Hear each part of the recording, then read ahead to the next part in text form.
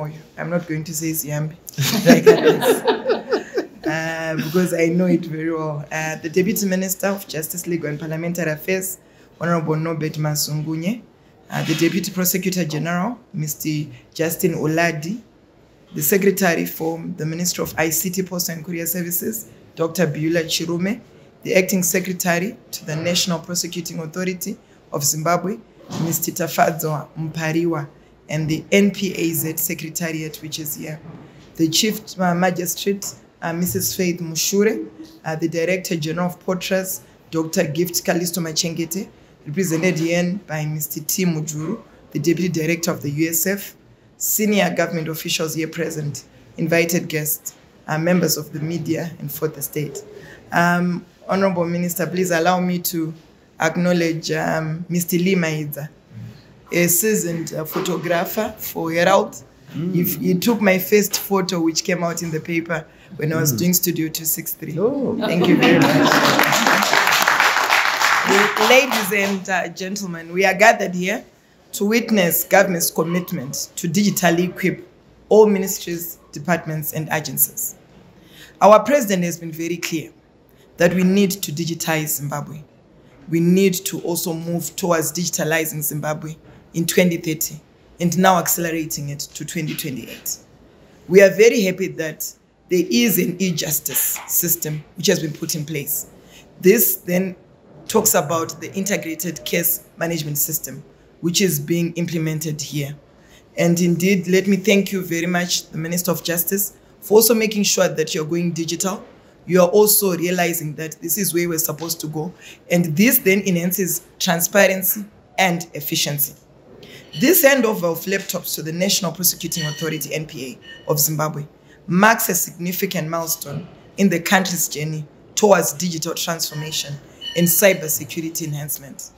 This event takes place against the backdrop of our President, His Excellency Dr. E.D. Mnangagwa's launch of three national ICT policies in Somabula on 7 March 2024, emphasizing the government's commitment to advancing technological capabilities across various sectors. The provision of these laptops underscores the importance placed on equipping prosecutors with essential digital skills, crucial for navigating Zimbabwe's transition into a full digital economy. Crucially, this handover is happening at the Rotten Row Criminal Courts, where the laptops will be used, emphasizing our commitment to directly deploy gadgets to the end user in our quest to leave no one and no place behind. In today's rapidly evolving digital landscape, it is imperative for prosecutors to acquire digital skills to effectively combat emerging cyber threats and crimes.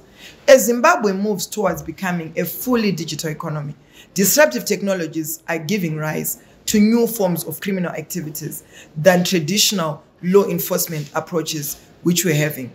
These really need to be addressed, and we need to move from the traditional ways and be able to also go digital. We are also mm, here empowering prosecutors with adequate digital competences and also making sure that it is also beneficial and also necessary for us to ensure effective prosecution in an increasingly digitalized world. Furthermore, understanding and applying laws such as the Cyber and Data Protection Act is paramount for prosecutors. And also we believe this is going to tackle cyber crimes. Yes, um, Honorable uh, Ziyambi Ziyambi being here, I think it's important for us to be able to unpick the Cyber and Data Protection Act. We have realized that we're having a lot of cases of cyberbullying, which we are realizing in our everyday world. And we're saying it's important that we really need to make sure that we unpack it. It's important for us to implement it, whereby we'll see arrest of any people that are involving themselves in cyber crimes and also even false information. This is very, very important for us to be able to transgress as we're going towards a digitalized Zimbabwe. We also believe that the National Prosecuting Authority of Zimbabwe bears a significant responsibility in safeguarding Zimbabwe's digital sovereignty by enforcing laws related to illegal telecommunications devices and cyber activities within the country. The effective implementation of regulations against unauthorized device usage is instrumental in maintaining cyber security standards and protecting national interest for external threats posed by malicious actors operating through illicit means. The Ministry of ICT is committed towards supporting all government entities in embracing the digital age, which we believe signifies, signifies uh, a wall of government approach aimed at enhancing technological capabilities nationwide. Indeed, we believe that these laptops are going to go a long way in also capacitating the NPA. And we believe that the Ministry of Justice is also going to be also uh, assisted in efficiency and effectiveness while fostering a culture of innovation within public service sectors.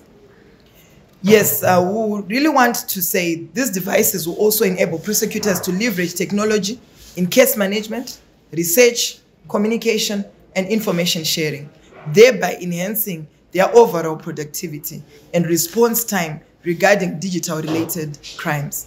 Indeed, let me applaud you.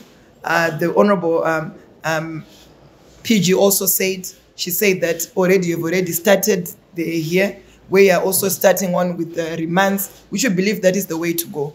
We really need to go digital and we need to also digitalize all our operations. We really want to thank you very much and we're saying we need to implement the integrated electronic case management system. We want to thank you for also walking the talk. Whatever pronouncements that have been made are being realized. And I think this is where we need to go. And we're saying any complications or challenges with the use of digital technologies in the courts uh, delays the delivery of justice. So it is important that we, the telecoms operators also work towards efficiency on connectivity. We need it to be affordable and also efficient. I want to also appeal to our prosecutors that our consumers of telecommunication services are also essential and indeed are also going to use connectivity responsibly. And as I conclude, I will say it is quite important that we look at what causes come after we have inefficiencies. We need to look at the cost. What are these costs? What is it that we need to do? We need to operationalize all our pronouncement and make sure that we foster on coming up with good policies, good practice, good procedures, good processes, and indeed good principles. When we're talking about principles, we're also saying that our work culture has to be different. Our actioning also has to be also in line with what we're pronouncing. And indeed, our systems also need to be efficient. In conclusion, collaboration between different government entities is pivotal for achieving successful transitions into full-fledged digital economies while upholding cybersecurity laws effectively. Prosecutors indeed are going to be very much of assistance in making sure that we safeguard national interests through their enforcement efforts against cyber crimes facilitated by illegal devices or online activities contrary to existing statutes.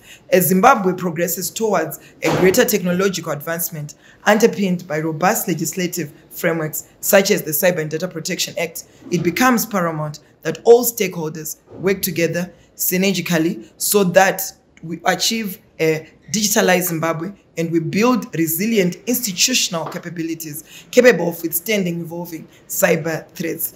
Indeed, I really want to thank you.